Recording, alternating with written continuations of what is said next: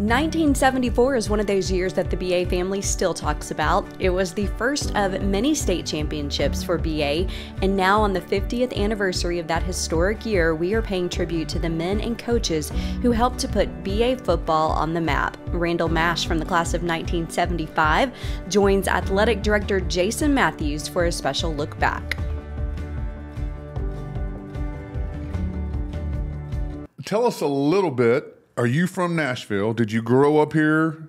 I know you didn't know grow up knowing anything about Brentwood Academy because it didn't exist. But tell me, not not at early all. childhood. I uh, I was born in Hillsboro, Texas, which is about sixty miles south of Dallas. And uh, my dad was in the Air Force when they closed down the Air Force base. My mom was from uh, Franklin area and and uh, Smyrna area, so we ended up moving to Tennessee. And so at that point, uh, I entered school in the third grade in uh, in Davidson County, and uh, from there went on to uh, Oak Hill when Oak Hill started up, and and then uh, Oak Hill was going to start a new, uh, or they were, I think they were going to cut down into classes. So Mr. Brown says, "Well, what's going to happen to the seventh and eighth graders and the upcoming ninth graders and whatnot?" And so that's when the thought in Mr. Brown's mind for something where for us to go.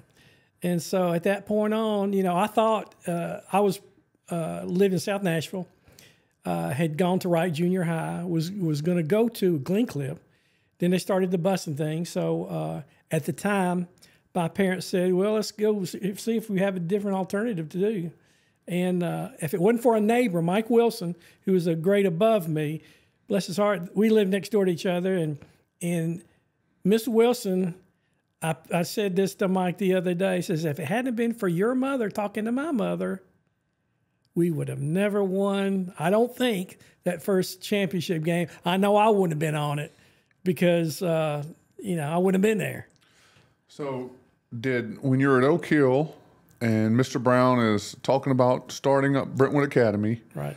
I don't know how public or how much you knew about that, but was it I'm going to Brentwood Academy, or were you thinking I'm going?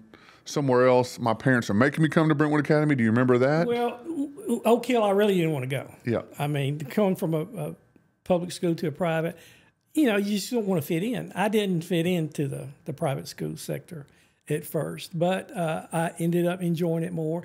And there was no doubt when, uh, you know, we love Mr. Brown. Yep. And so when he started uh, Brentwood Academy, there was no uh, other problem other than finding money to pay the tuition. Yeah, know? yeah. But uh, when we did that, me and my sister, uh, we we started. Uh, she was a um, one of the first. I think it might have been the first class to actually graduate, and uh, she was two classes above me.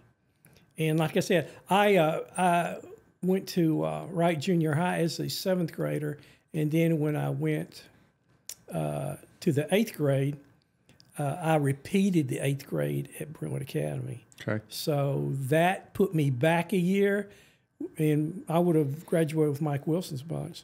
So it's again, it's funny how things work out for the best, and this is definitely one of those deals. So, so talk about you show up Brentwood Academy as a repeat. They're called reclass now, so repeat doesn't happen anymore. Now everybody's reclassed okay. as a reclassed eighth grader. Yeah. Um, you walk in here and what are you thinking? I'm thinking, I'm looking at everybody else and I'm thinking, where's the rest of the football team? Yeah. You know, he got it right when he coached us. Well, there's about what, 10, 11, 12 of us maybe? And uh, he said two of them quit right off the bat. So we had what, nine? So, uh, and in fact, he sent my sister uh, uh, uh an invitation to join, but Terry spelled her name T E R R Y. He didn't know it was a girl. But uh, she still turned it back in next day and said, uh, Coach Flatt, appreciate the offer. Um, I'm a girl, so I don't think that's going to work for me. So Coach Flatt's first invitation to join his team, he invited a girl to join his football team. That's good. Yes. Um, so did you know Coach Flatt before that? I did not. Did not know him from Adam. And uh, uh, like I said, I, I was shocked at the whole whole thing. You know, I had played junior pro football before, and you know, you've got maybe about 20, 25 kids on it. But when I looked around, I said, "Now this is going to be junior high, right?" Well, you know, come to find out, the, the highest grade we had at the time was sophomore class. So here was eighth grader that knew nothing about nothing and playing against, uh, you know, freshmen and sophomores. So, did you know you? I mean, I assume you were quarterback. I always wanted to be a quarterback, or did you get told you were quarterback? You're going to play quarterback told, for us. I was told that. And what did you think you were coming in and playing? I'm thinking, you know, wide receiver. I played wide receiver at Oak Hill because I was short. Mm-hmm. Uh, you know, get him out of the way a little bit. You know, maybe mm. throw a pass every now and then and whatnot. But that was fine with me. Uh, I enjoy the camaraderie of football and, and, all the, the things that you, you learn from football. So as I went by, I appreciated the game more and more. But um, yeah, I, it was again from what I've read in the newspaper articles. He uh, handed me the ball and said, "What grade are you you want in?" I said, eighth grade. I'll be an eighth grader." So I guess he thought in his mind, you know, this guy, if he sticks around, he's going to be with us for a while. I'll give him a shot and see what happens. What was your first, uh, maybe not first day, but first couple weeks of Coach Flatt? Did you did you know that there was a great coach, which would be amazing if that's the case, or did you think uh, this is going to be rough? I think I think I was kind of intimidated. Yeah, you know, I was. Uh, I'm a, a really great follower, not much of a leader, and I grew into that as time went on. I told people when they asked me before, uh, I was a pretty good leader. I mean, a, a follower rather. But as a leader, it took time for me to get to the point. I said, usually a quarterback's got to be, you know, you've got to yeah, kind of you know, snap it. it. sometimes and, yeah. and, and, and uh, point your finger at yourself a lot of times. But, but you know, lead, uh, even though you may not be that kind of a person, but that was part of the deal, you know. So, Coach Flatt, what? How would you describe him? I mean, the first impression. Uh, the first impression was, well, evidently this guy knows what he's talking about. I mean, he he knows, you know, this guy's going to play this, this guy's going to play this, and whatever. So, uh, again, well, wasn't many options though, right? Nine players. Not at all. Not at all. I mean, we could have used my sister, I guess, That's to right. make it ten or eleven. But but yeah, I was in awe of Coach Flatt. Uh, I didn't know anything about him, but uh, as time went on, you you got that trust in him, and uh, it was it, it's just unimaginable the things he has taught me throughout my football career. And that's why i really got into coaching myself. I said you know i want to give back somewhere and somehow. So i ended up coaching at, um, at white house middle school right. and stayed there about right. 27 years. Yep. Let's uh, let's kind of go lateral a little bit. You got into brentwood academy and now take the football aside. Talk a little bit about school and it was a small school. Very um, small school. Uh, you no know, faith base, right? At that time, right. nothing. I think we were just we were just uh, a shoot off from again Oak Hill. Yep. And uh, when I looked around, open lockers like they have now, uh, just very small, but everybody knew everybody. That was you know kind of neat like that. You knew all the the teachers, uh, and uh, I mean, it was a great environment. Uh, we did things just like we've always done. Uh, but but uh, like I said, it was a great start for me to begin that eighth grade year at, at the Brentwood. How, do you remember how many people were in your class? I think maybe we had like 13. Okay. Something like that. And I heard there was no dining hall like we have now. No, we was, we, we had the, the usual uh, Big Macs that somebody would go down to Brentwood and – and get us a Big Mac or whatever and McDonald's. And we did that for a number of years. And, and uh, some people brought their lunch, which was fine. Yeah. But a lot of people did the, did the hamburger deal. Were you a? Uh, I don't need too many specifics, but were you a good student? No, I was not. Okay, so you need help. I, I definitely, I love football. I love football. I love sports. I love track. I love, but I was not a good student at all. I, I, uh, uh, didn't know the techniques of studying. I, I uh, uh, watched maybe too much TV at home. I was after football practice. I was tired. I was ready to give up and and take a nap and, and do something else. But I was not a very good student. But in time, uh, I, I learned that you know that's part of the deal.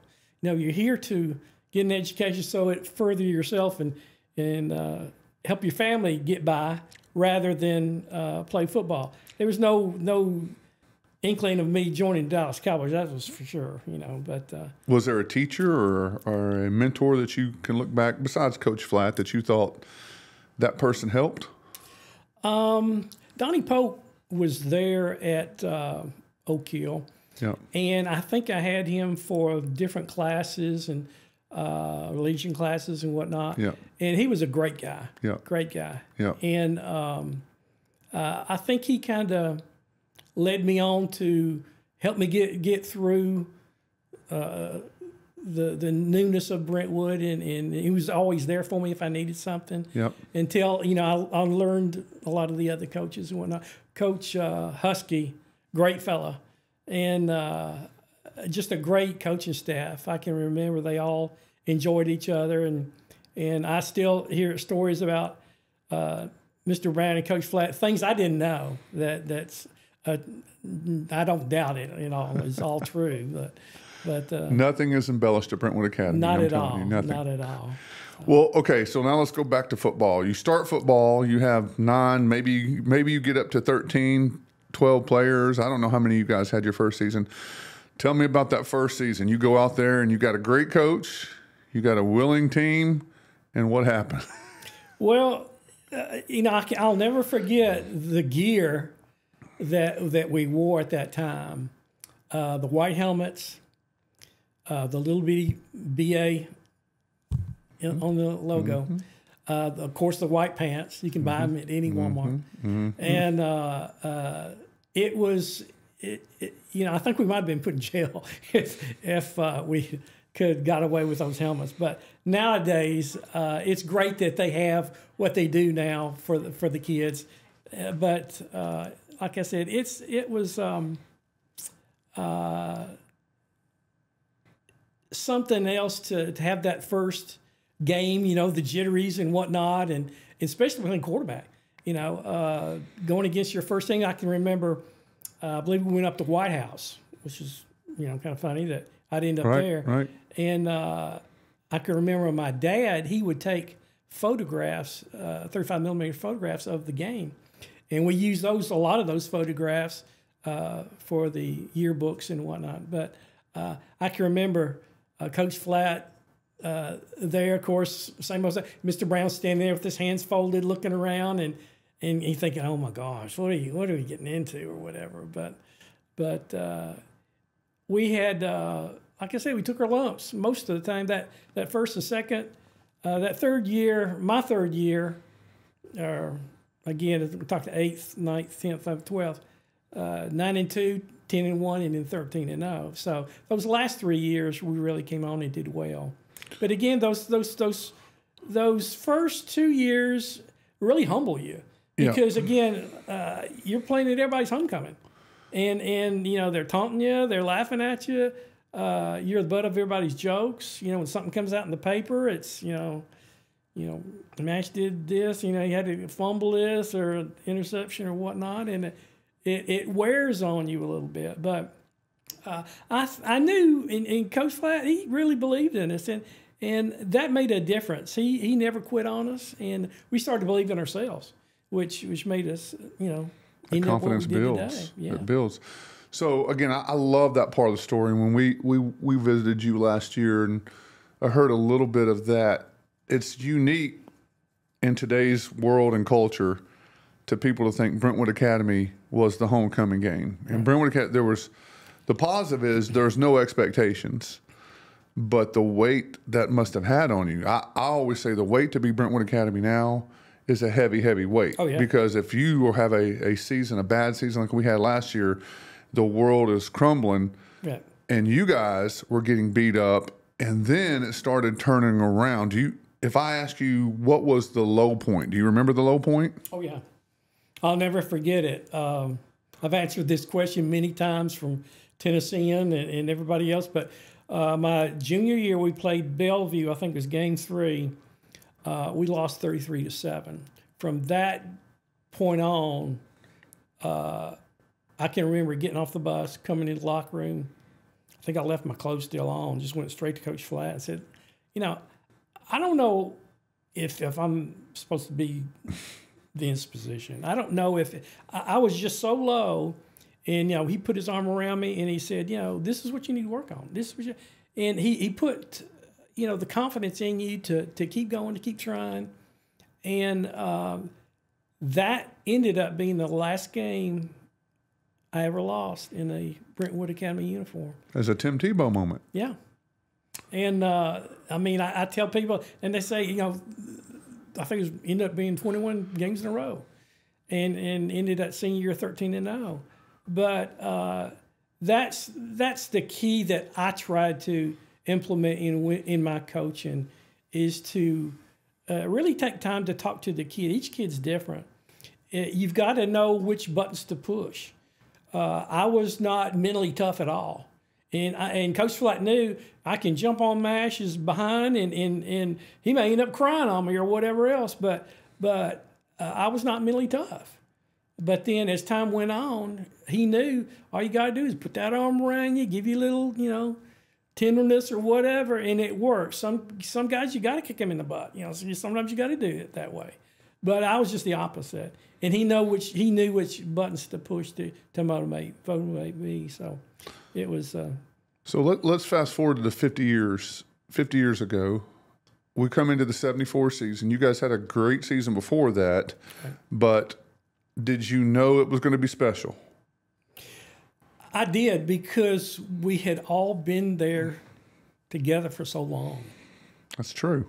I mean, uh, again, I looked at the 1970 photograph, and again, there's four people that made it to that senior year.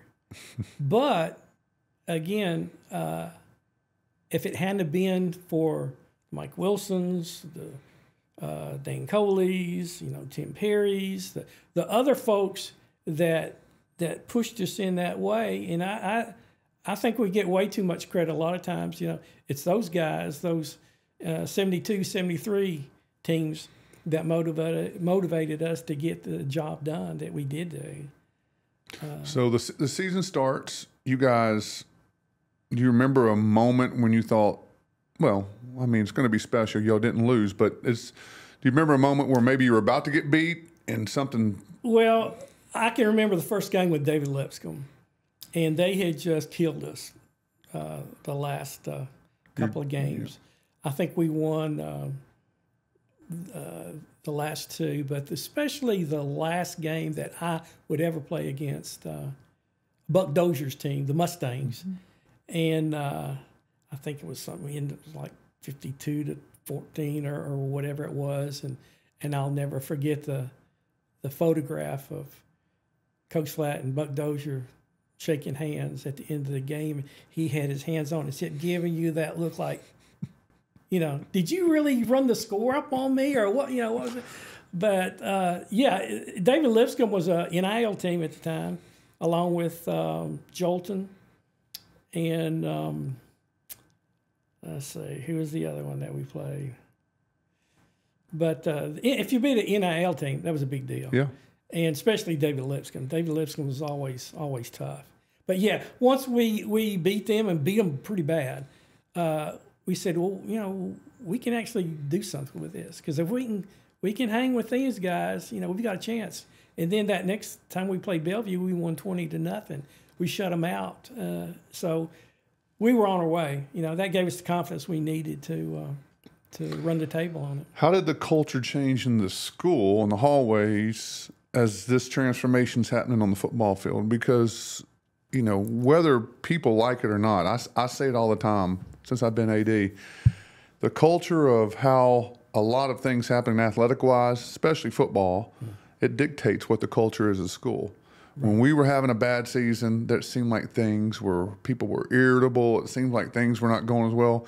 But when you guys get on that roll, can you tell a change in the culture of the school? Well, you know, with it being small like it was, and and being the situation that we had, we were just a very close knit group football team and students.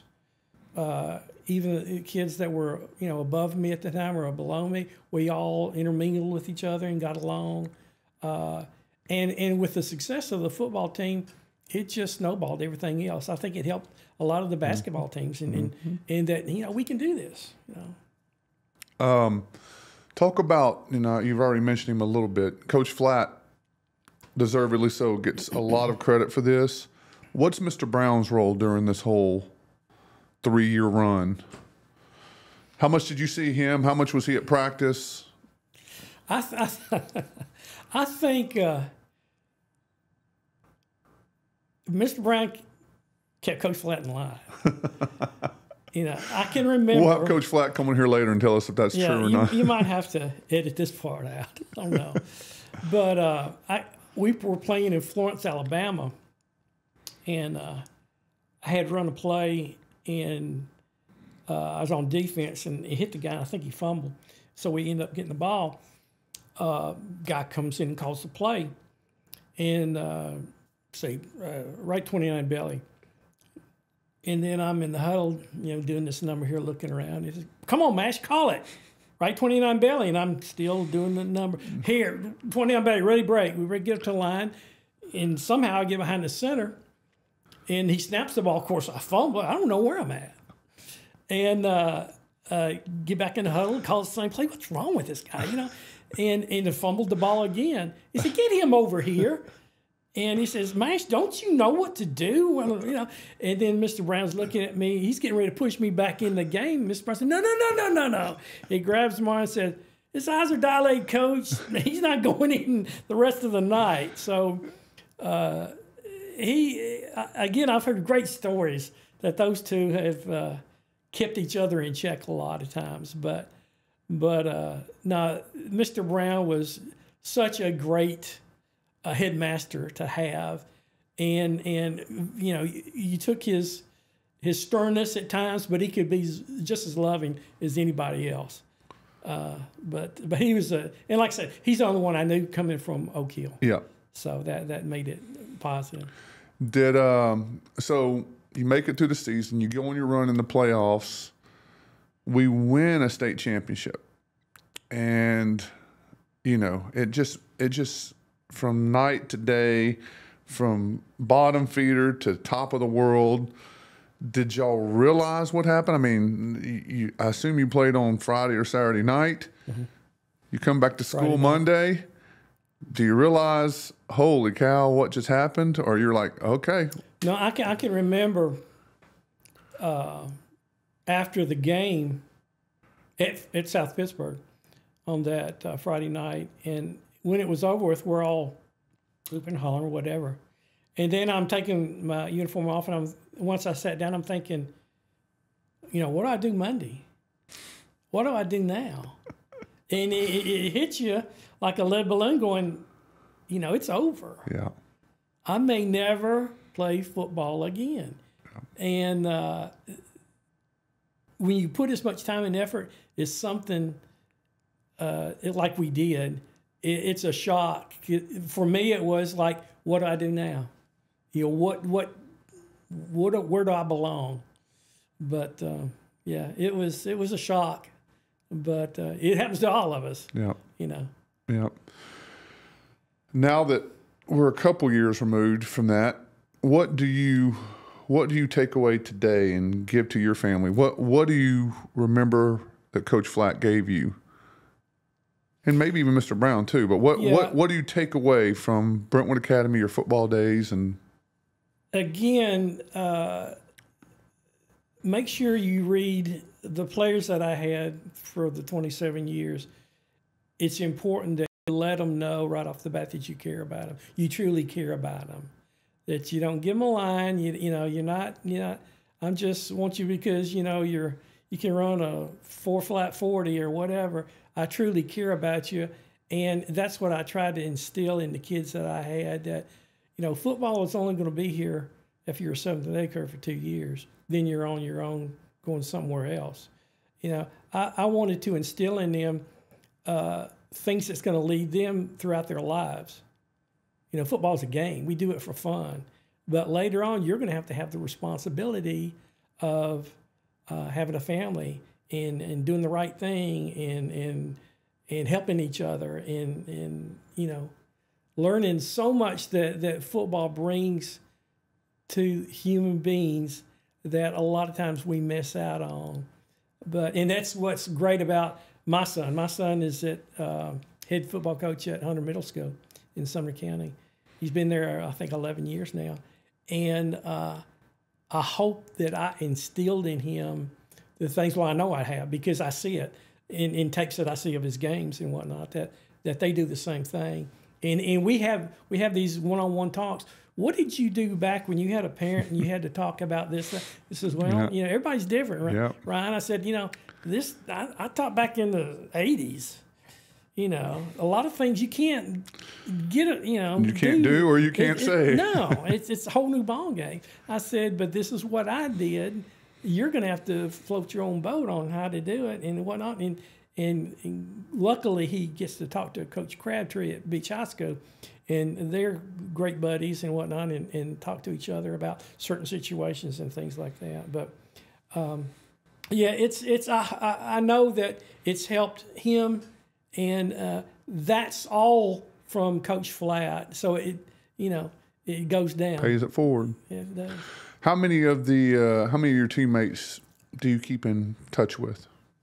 Really, uh, Mike Wilson, uh, because like I said, I've known him when I first moved to Tennessee, and uh, we try to get together as, as much as we can. But I would say Mike. You know, yep. I'm pretty tight with him. Do you know, looking back at that moment, and again, we celebrated at Brentwood Academy the 50th anniversary of it, but do you know at that moment how that changed the school? Do you do you look back as a participant in that game and realize how that changed the school? Not really. Well, let, let, I, I, I, I, I think that I'm, I'm, I'm, sure when I went and I looked in that locker room, I'm thinking, oh my gosh, here those guys are again. Is this mascot died yet? Is he still with us or whatever? And I know they hate sometimes to keep harping and hearing the, the, the praises of the 74 first state championship team, but it, it'll always be the first. Yep. It'll always be special. It'll always be Coach Flatt's first and uh, I I know I left a, a, note to one of the players in his locker when I left uh, when we met in there, yep. and I said uh, I was not a very good player. I wasn't a great player, but I was on a great team, and I hope that's what y'all have. I hope y'all have a great team, not individual team. You know that you enjoy each other and and praise each other, win or lose uh, each other's efforts and what they do. Well, let, let me just say this. This is not about my words to you because I we want to hear about that. But let me tell you, someone who's benefited from your guy's success. It is a heavy, heavy weight to carry to be at Brentwood Academy. I've been here for for um, three different coaches with with Ralph Potter and with Cody White. Mm-hmm. Well, four: Jacob Gill and now Paul Wade. And I'm telling you, it's it's it's a it's a heavy burden, and it's obviously Coach Flatt. It's obviously Mr. Brown. They set such a great foundation. But you guys, um, the story, uh, and you can't tell the story of the championship without talking about the three years before that. Right. Um, I think it's inspired a lot of our kids, especially after last year's losses. I think it's inspired a lot of our kids that you you know it's not individual, it's all together. Right. But from someone that benefits from this, we want to say thank you because you guys, whether you like it or not, you are that symbol that we look at. And whether you feel it or not, our kids do not sit there and go, "Oh Lord, it's the it's the cow pasture." Boy. They don't say that. They're like, "Oh my gosh, that's this is great. good." So we we want to keep promoting that, and we want everybody to understand that that's our story, and that yeah. started the culture that we are today. Yeah, so great. from from someone that benefits from it, we we appreciate it. Let me ask you one more question. Um, because the game is changing. We talked about this when, when I was at your house last year. Um, we've got NIL and t- not your NIL that you remember, our NIL now that's that's that's going through Tennessee. We've got um, kids that are going through schools. They have agents. We've got uh, people that are opting out of bowl games. We got people that are transferring if they're not starting at different things for someone that was out there practicing on top of thorns and on dust and not having the newest equipment and all that stuff, what do you think about football and the transformation now? it's like you've hit the lottery. Yeah. It really is. And, and, and when I talk to the players, again, I say, you know, the same thing. Do you realize how fortunate you are? Do you really know and appreciate the things that you have? Because when you have nothing, when you start with nothing, you don't know any better. You know, but but when I see that field, when I see that locker room, mm-hmm. when I see those hel- running helmets, mm-hmm. oh my gosh, what a great opportunity for these kids if they'll just take advantage of it. Amen. Know? Mr. Mash, we're looking forward to celebrating your team tonight. We appreciate all you did for the school. We appreciate you sitting down with us, and we are just uh, thankful for all you've done for BA. Thanks so much. I appreciate you. Absolutely.